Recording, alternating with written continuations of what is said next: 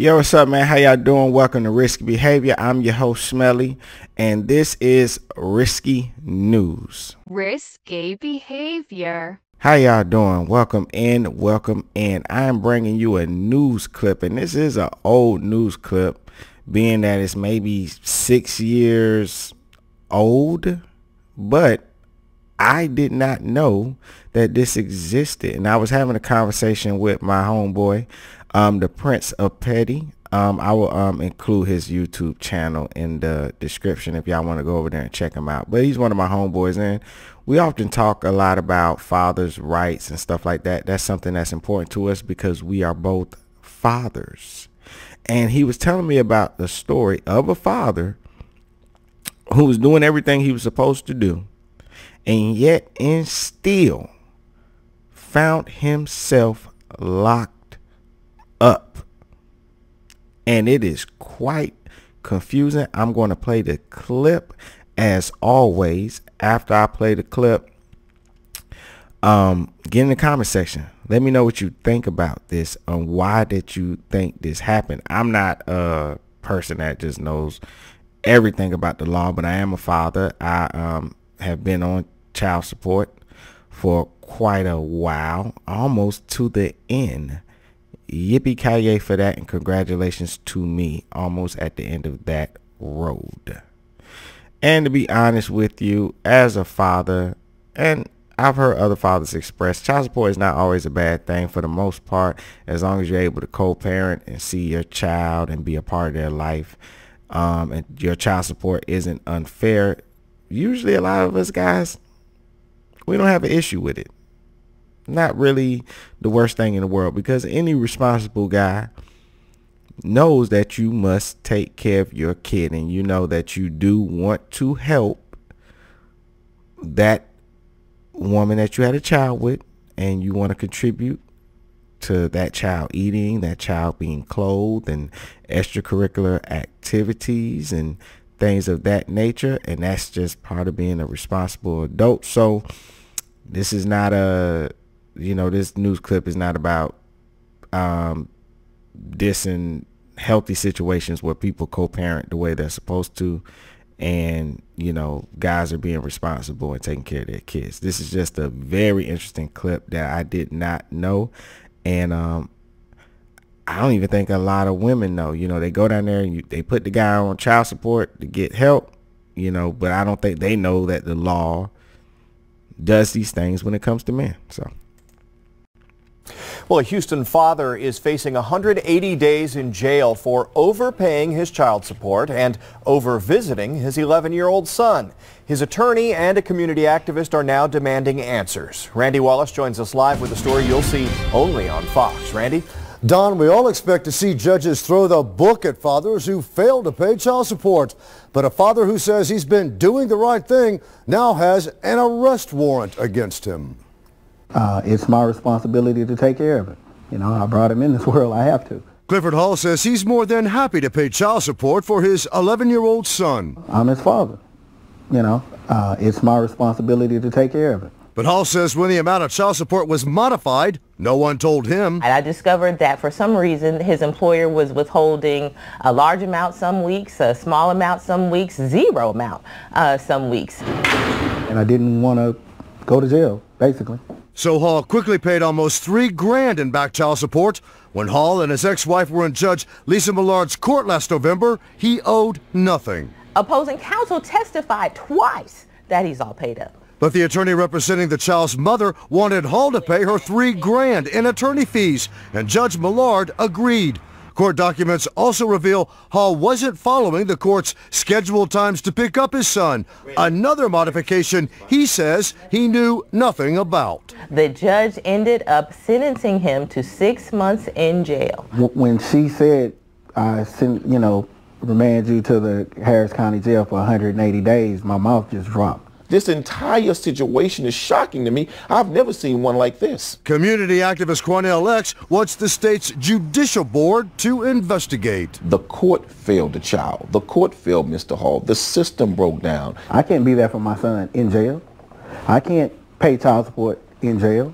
You know, this is not this is not in the best interest of the child. Judge Lisa Millard says Hall walked out of court after he was found in contempt, which she says is a big no-no. Judge Millard also points out Hall's attorney could have filed a motion for reconsideration. She says that would have allowed her to hear both sides again and reevalu- reevaluate the situation. Hall's attorney is now working on an appeal, and in a few days, Hall plans to turn himself in, and Don will, of course, keep everybody posted on, Yeah. on how this plays out. It really is a strange situation. Very, very, very strange. I mean, it, it, it kind of shows that sometimes these things can be changed, modified. Maybe one parent doesn't know, but it's very confusing, and you've got to wonder how this man could go to jail for this. All right, Randy Wallace, thank you. You're welcome. Uh, uh, uh, uh, uh.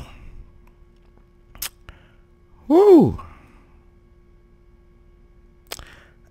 There's something that I often say because I've heard these conversations come up all the time about, um, you know, just child support, custody, and things like that, and the whole um, deadbeat father thing that people like to just throw around and stuff like that. And I said, well, we currently live in a nation where um, it's impossible to be a good father. And I, I said this before. I said, how could any man be a good father when legally you're not allowed to?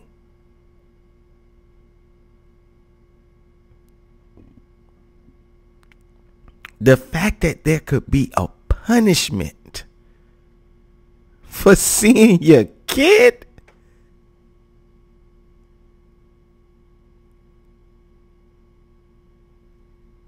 for seeing your kid.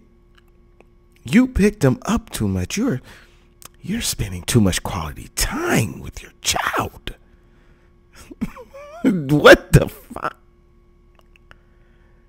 It, it- it's a crazy world we live in. And I don't think most people see it or realize it because if you're not in that in that system, you really probably don't even pay attention to it. And so when people outside of it wonder and say, well, hey, um, my dad could have picked me up more. My dad could have got me more. No, he couldn't.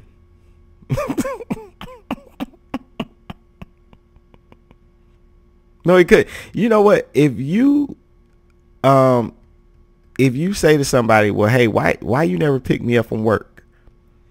And they say, well, I don't have a license you wouldn't say to them, well, you still could have drove and picked me up. You wouldn't say that because you would know that legally they could get in trouble for driving without a license. And you would know that legally they cannot do this thing. And what I'm saying to you is legally fathers who are in the system legally cannot be good fathers if you are a good father in the system, do recognize and understand that you are doing it illegally.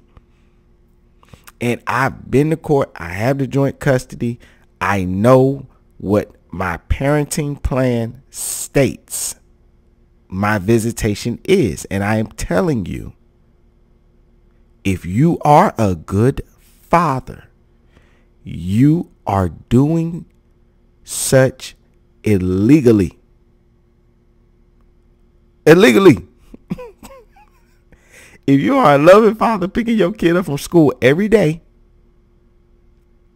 helping out, doing homework, you're not just being a weekend father. You're like, hey, you know what? Got off work early. Can I go pick up?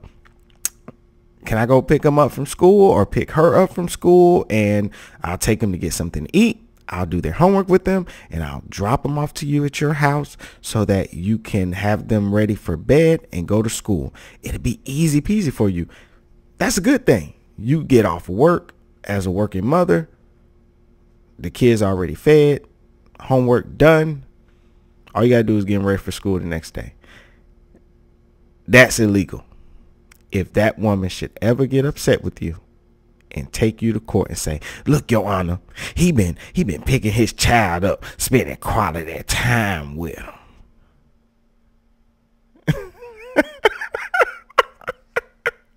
oh my God!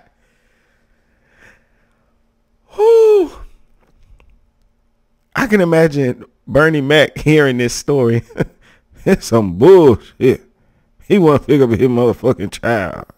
Motherfucker want to take his child to the park, spend some quality time with him. What the fuck? It's some bullshit.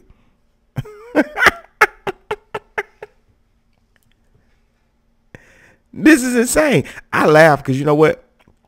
I've been doing it so long, it just doesn't bother me. I, I already know. But this is shocking. And this is why a lot of men say, look, I'm only going to give you what I am required to pay, nothing more.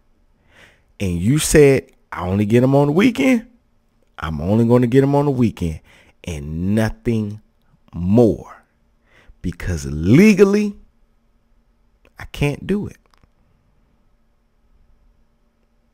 Can't do it. And you throw him in jail for that bull. And look at this. Most people, most Americans, um, with the cost of living and how things are, we can't people can't just usually go 180 days without working. How you gonna pay his rent? And then he gets out. He got a little kid. He gets out. You threw him in jail for 180 days. He gets out. He ain't got no job, got nowhere to live.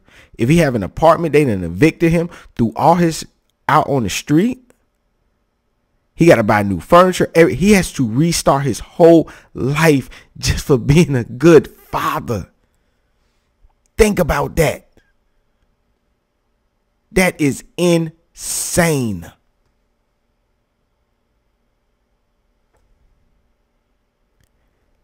Let that be a lesson. Let this here story just be a lesson as to why when you say, oh, my father, he could have did more. No, he could not. He couldn't. He could not. Couldn't do it. And I know at the end they said he just walked out the court. Might as well. You screwing me over. I I gotta walk out. I gotta leave. I'm too angry.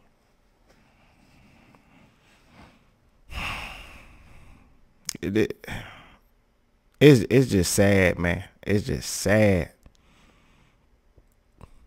It's like Paul Mooney said before. What they say, what they do. It's almost like you gotta laugh to keep from crying because you cannot believe the insanity of a father. Even these two white guys on the news, like, look at their facial expression. He like, oh. this is weird. This is weird. Hmm. Anyway, and I know I, I know there's two uh, white guys on the news looking and stuff, but you know, um, people um, tend to act like it's always this racial barrier. But when it comes to fatherhood, all fathers go through this, and so we all connect when it comes to issues like this. We all connect because we all going through it. Illegal. It is illegal to be the best father you can be while in the system. Now, if you're outside the system, then whatever, it doesn't matter. But within the system, every father, no matter the color, are you a great father? I want you to know and I want to thank you for saying F the law, breaking the law, because if you are an awesome father in this system, you're doing it illegally. That's all I have. Get in the comments. Let me know what you think. I appreciate you all. Risky out. Risky behavior.